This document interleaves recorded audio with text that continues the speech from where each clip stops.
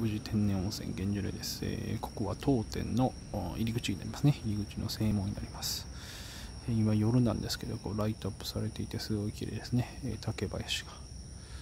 この横にあるのが入り口。そして、え駐車場が。これですね、えー、その道路をこう入ってきていただいて横にはセブンイレブンさんがあります。そういう風に来ていただくという風になってます。こういう風にね、え夜になるとライトアップされてまして空とかもね、え、お昼の時はすごい綺麗なんですけど、今もちょっと見えるぐらいですね。すごい開けてるのがね、いいとこだと思うんですね。こう適度にライトアップされてて、それもすごい綺麗です。